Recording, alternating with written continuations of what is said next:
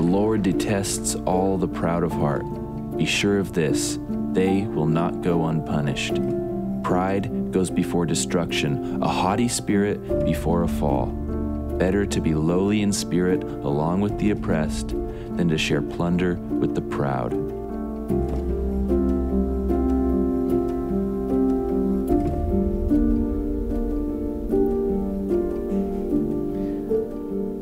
Well, as we wrap up our sermon series in the book of Proverbs, and we finish up with a, a sermon that actually is focused on the importance of humility in building healthy relationships, we couldn't find a better person that is more equipped, that is more gifted, and that more embodies this aspect of humility than Pastor Tyler Smith.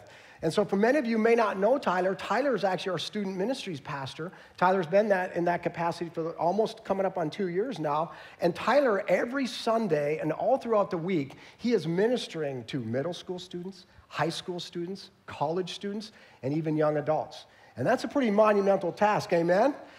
And Tyler does it with such grace and such humility. We're just so thankful for Tyler. And also, Tyler and his wife, Jordan, if you didn't know, they just welcomed their first child, a baby boy, Francis. Yes, that's right. And we know babies can teach us a lot about humility, amen? Oh, yeah. so we are so delighted because actually today is another monumental moment in Tyler's life. That is, Tyler teaches throughout the week in different capacities. He teaches on Sundays to our students. But Tyler, this today marks his first time that he'll preach a sermon on Sunday morning here in the worship center at Shoreline. So this is a monumental day for Tyler, but we know that he's up for the task because the Holy Spirit has anointed and appointed him, and you all get to be a part of this moment. Amen? Amen. So I'm going to pray for Tyler, and then once I'm done, would you please join us in welcoming Tyler? Lord Jesus, we're so thankful for our brother Tyler. We thank you for this message that you've laid on his heart. We thank you for the words that he will share. And thank you, Lord Jesus, that we are here today. And Lord, now we open our ears, we soften our hearts, and we allow the Holy Spirit speak to us through Tyler. We pray, Jesus, in your name. Amen. Would you welcome Amen. Tyler? Thanks, Pastor Sean. Well, good morning. Uh, good to see you all. We've, you've all definitely heard this proverb before because it was just on the video earlier, but I'd like to read it again. Uh, it's Proverbs 16, 18, and this is what it says it says, Pride comes before destruction, a haughty spirit before a fall. And the translation that I've often heard, and perhaps you've heard it as well, is pride comes before the fall. Anybody heard that before? Pride comes before the fall. Hopefully, you haven't heard that too many times, um, but I've definitely heard it before. And uh, there's this special little thing with this proverb. It always seems like you hear this proverb after the fall.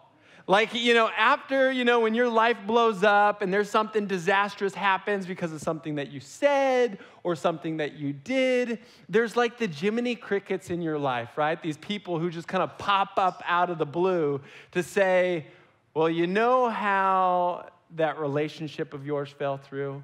You know how you said that selfish thing? You know how you didn't take that advice? Well, pride comes before the fall. And I bring this up today because I believe you picked a great day to be at church. And it's not because I'm speaking today, but because I believe that God is going to speak through His Word to remind all of us that pride, in fact, does come before the fall. And my prayer, as I've been preparing for this morning, is that the Holy Spirit of God would just move in this place to encourage all of us to take steps forward in humility. Well, we've been in this series called Guideposts and Guardrails, and we've been walking through the book of Proverbs.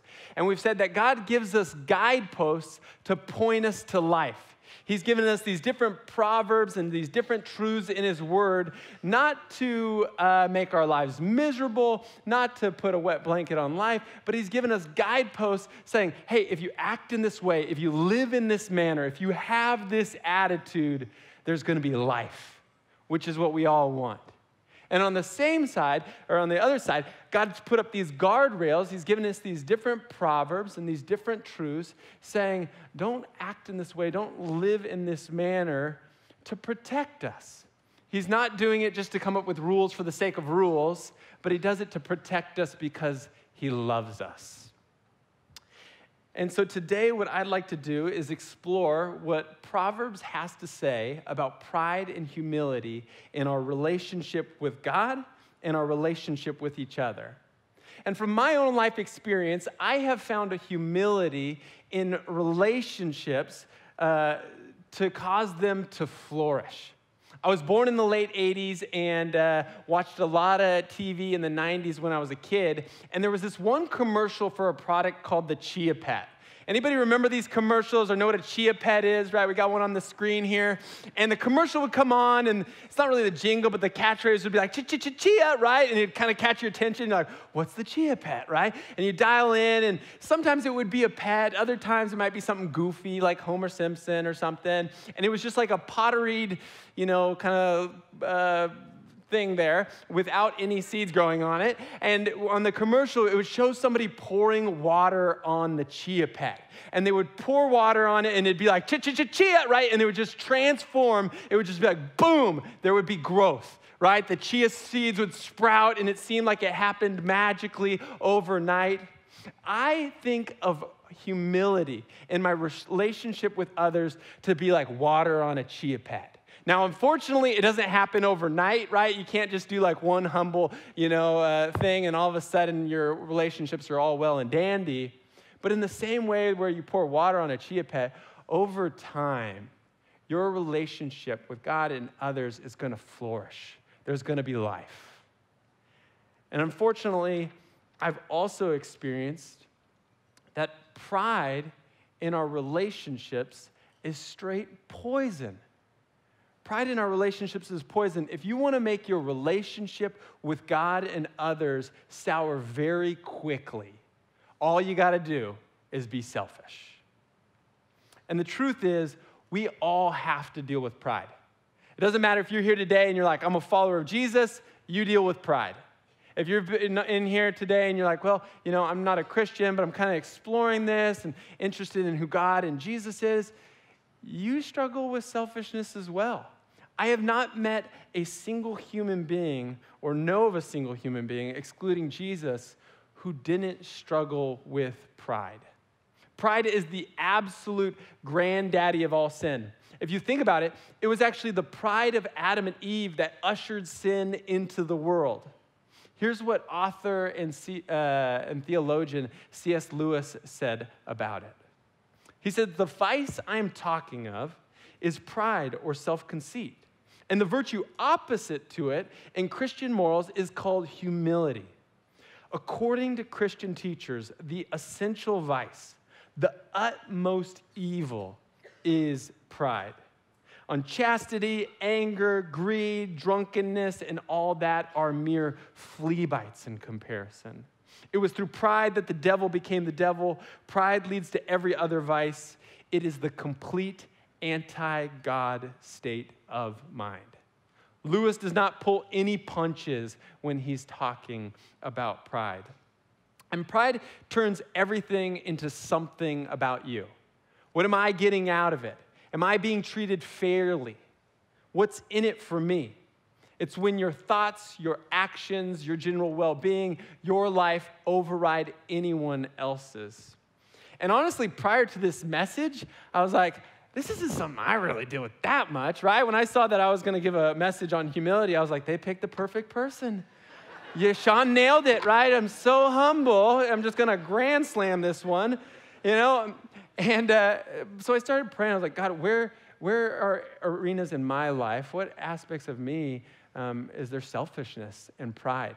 And there's some prayers that I call just like green light prayers, the kind of prayers that God just says, the green light, all, you know, go, I'm gonna answer that one.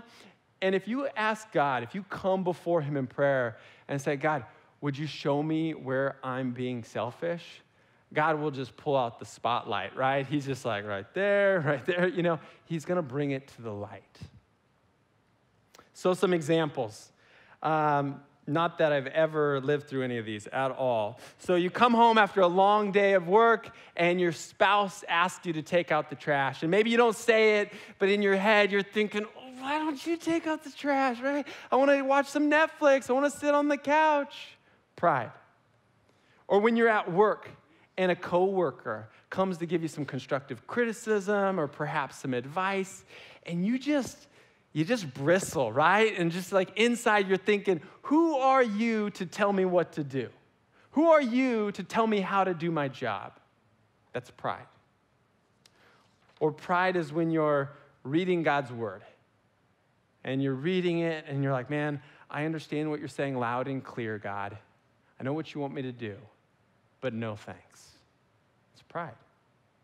And for some of you, maybe pride is, you know, you're going on Highway 1, you're heading out to Marina, and there's that one portion where like cars can kind of sneak in, right? And maybe they did it intentionally, maybe they did it unintentionally, but somebody cuts you off in traffic and you just want to give a special gesture and just kind of slam on the horn.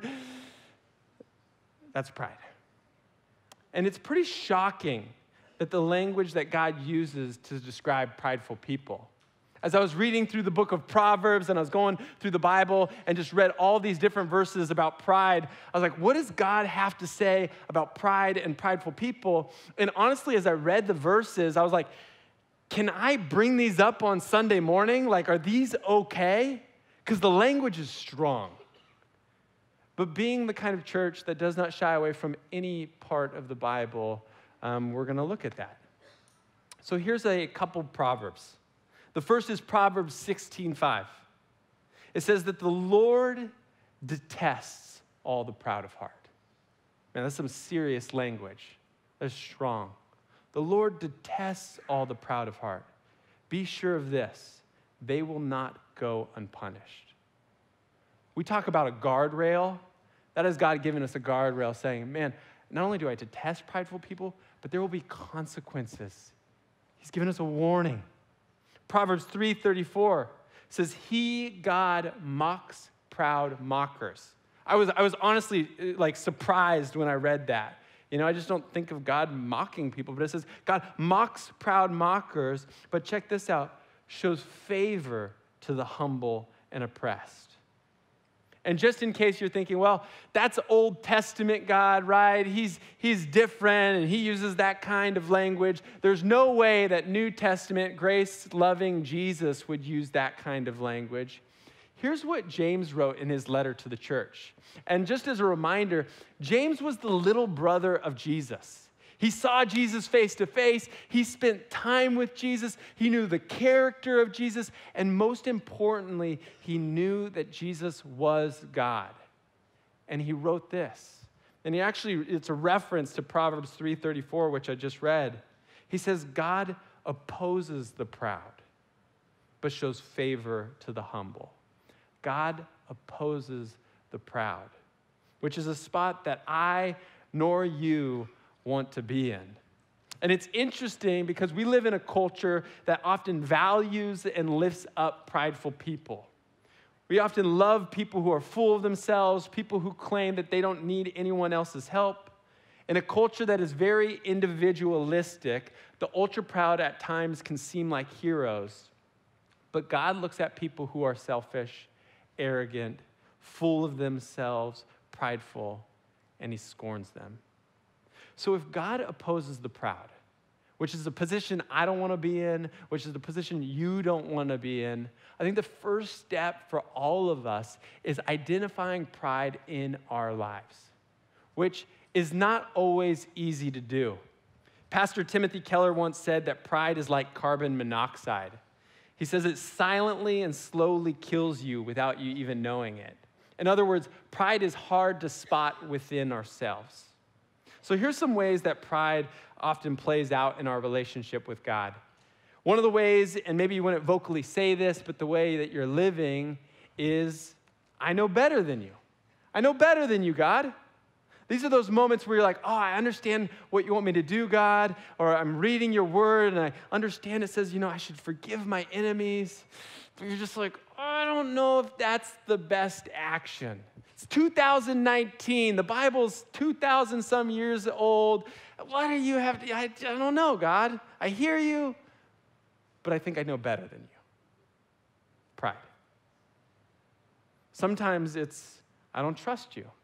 Yes, I understand, God, that though I walk through the valley of the shadow of death, um, you are with me.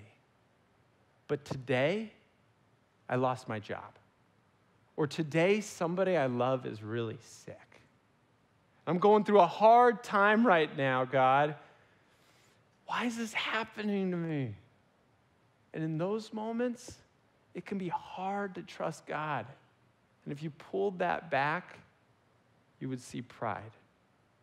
And for some of you here uh, visiting, you might say, I'm fine without you. I don't need you, God. I've lived this long and life's been okay. It's been pretty good. And I just don't think I need you, God. That's pride. But while God opposes the, the proud, it also is very clear that God rewards the humble.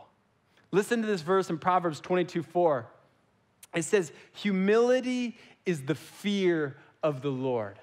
Humility is the fear of the Lord. Its wages are riches and honor and life.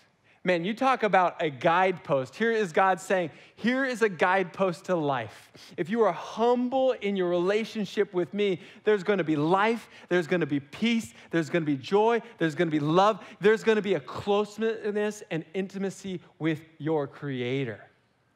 One of my favorite verses in the Bible is Psalm 27 4.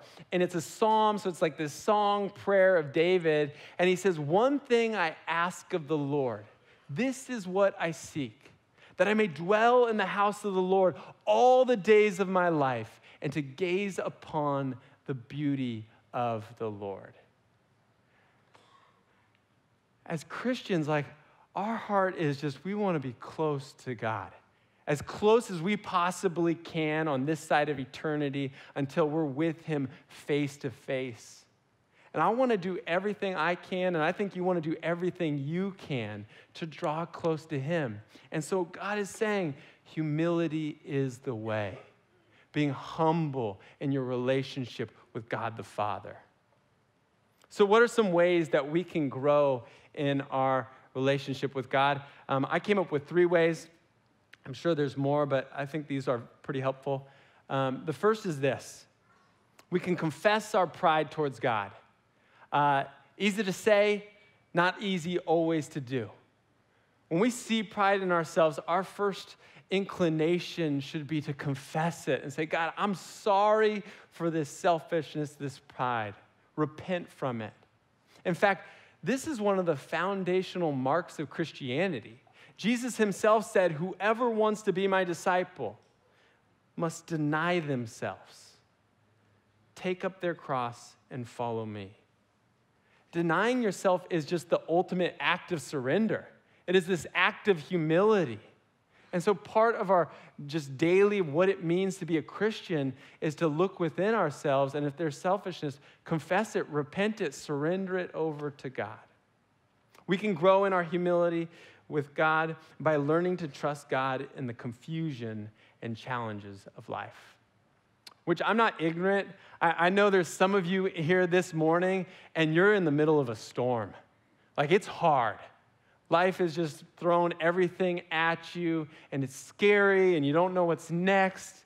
And in this moment, you're like, it's hard to trust God. And then for the rest of you, you either just came out of a difficult season or you're heading in that direction. How can we trust God when life is hard, difficult, confusing, and challenging? Two things that I've found helpful for me is remembering God's goodness in the past, like thinking back on my life and thinking about all the different all the difficult and the hard and the challenging seasons that I went through, but see how God saw me through each and every single one of those. When we're in the middle of a storm and we remember how God saw us through the hard things of the past, we can be reminded that He's with us now and He's going to see us through this as well. And we could also remind ourselves of who we are in Christ. If you're a follower of Jesus, He says that you are a daughter, you are a son of the King. The Bible is very clear that God loves you so much, so much that He sent His Son to die for you and that He will not abandon you.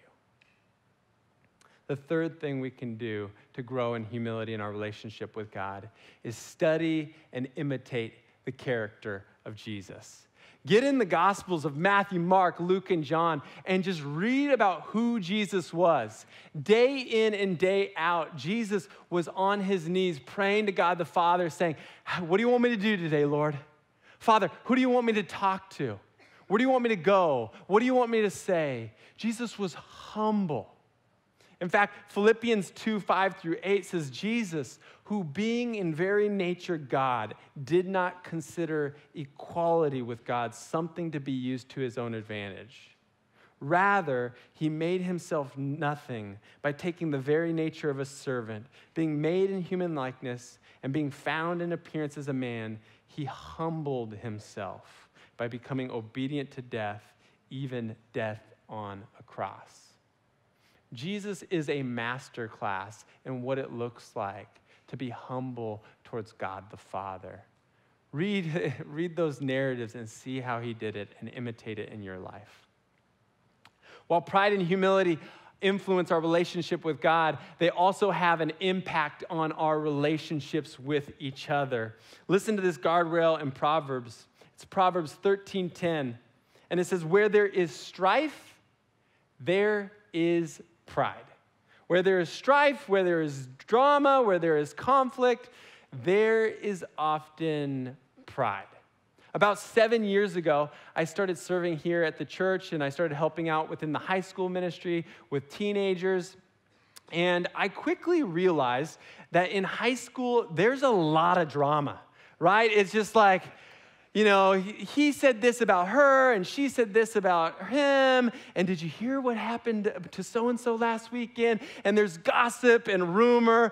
And I was like, what did I get myself into, right? And I'm a volunteer leader and I'm like, okay, you know, I got to help these kids. And so I would just kind of wade into the mix sometimes and I try to act as a mediator and try to sparse things out and bring, bring some reconciliation.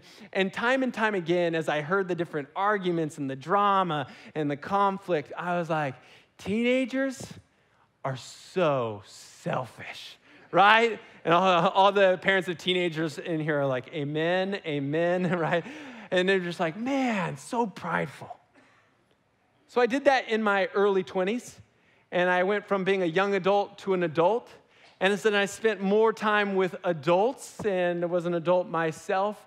I quickly realized that pride and selfishness are not limited to high school teenagers, but it is a human problem. Unfortunately, high school drama does not go away after high school. Pride is a human problem. If you want a quick way to end your marriage, be prideful. If you're looking to have drama in your friendships, be selfish. If you want to increase the conflict with your children, man, just be a little bit more prideful. But while I don't think I need to give like a persuasive argument about, you know, why pride is detrimental to our relationships with one another, I think most of us have experienced that in our friendships, in our family. We've seen how pride and selfishness can fracture and break up relationships. I also know that no one dreams about having their marriage hit the rocks. Like, nobody wants to have drama and conflict in their friend group. Like, I just haven't met that person who's like, I can't wait to hang out my friends and we're gonna get in a big fight. I'm gonna be so selfish, right? Like, nobody wants that, right? Like, we all long for, what we want for all of our relationships is health. We wanna see them flourish, right? Hopefully, like the chia pet, not with green hair, but life, growth. You get the point. So, what are some ways that we can grow in humility in our relationship with each other? Uh, three different things. I think the first thing we can do is we can be quick to say, I'm sorry. In those moments where we do something selfish or we do something prideful, it's gonna be very tempting just to kind of sweep that under the rug and just ignore it. But that would be the worst for that relationship. Just last week, I came home and um, my wife said something to me, and I was just, I just kind of fired back a comment that was rude, it was dismissive, it was super sarcastic. And like the minute I said it, I was like, oh man, like, why did I say that? And the pride in me was just like, just keep walking, right? Just kind of get, get out of the room. Hopefully she'll forget, right? And it'll all be good. But the Holy Spirit of God's like, this, that's not the right thing to do. And fortunately, I had the strength to go back in there, swallow my pride, and just apologize.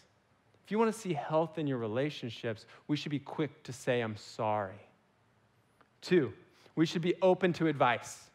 That verse I read earlier, Proverbs 13:10, starts by saying, Where there is strife, there is pride. But the second half says, But wisdom is found in those who take advice. Man, you talk about a guidepost. This is God saying, Wisdom is found in those who take advice. I said at the beginning that uh, a lot of times it would be really nice to hear that pride comes before the fall, before the fall. And it always seems like you hear that advice afterwards. But what I've found to be true is a lot of times when somebody's on a path and acting in a certain way, there's often people who care about them, who love them, who actually will come uh, uh, up to them and let them know that and say, hey, you're acting in a wrong way. Like your, your pride comes before the fall. I'm, I'm letting you know. And oftentimes, prideful people just want to put their hands over their ears and say, I'm not going to listen to that. I don't want to hear it. But God says in His Word, wisdom is found in those who take advice. Humble people are open to advice from others. And then, third, is if we want to grow in humility in our relationship with others, we should study and imitate the character of Jesus. My wife wants to get uh, better at cooking. She's already a great cook, but she wants to be an amazing cook. And so she's watching YouTube videos of different people. She's watching the Great British Bake Off, like getting ideas. You know, she's watching the best of the best do her thing so she can be better at it. If you want to get good at sports, right, you watch sports, you watch the plays, you watch the best of the best so you can get better at it. If we want to be great at being humble in our relationship with others, we should fix our eyes on Jesus who nailed it. Jesus came down to this earth and he could have just been like, I am God Almighty. Bring me grapes, give me a back rub, right? Give me a cold drink and carry me around. But Jesus wasn't that way. Jesus was humble. He served. Jesus listened. He cared for. He healed. Jesus was humble in his relationship with others. I want to land my message with an encouragement for those of you who are in here today and you're just thinking about a relationship of yours that has just been fractured, that has been broken by pride. You're thinking about that relationship and you're like, man, things used to be so good and it was healthy, but you said something or you did something and it's just not the same. And your heart wants to get it back to a place of health. I want to encourage you by telling you that there is hope. There is absolutely hope. I have seen our God transform selfish, prideful people into people who are selfless.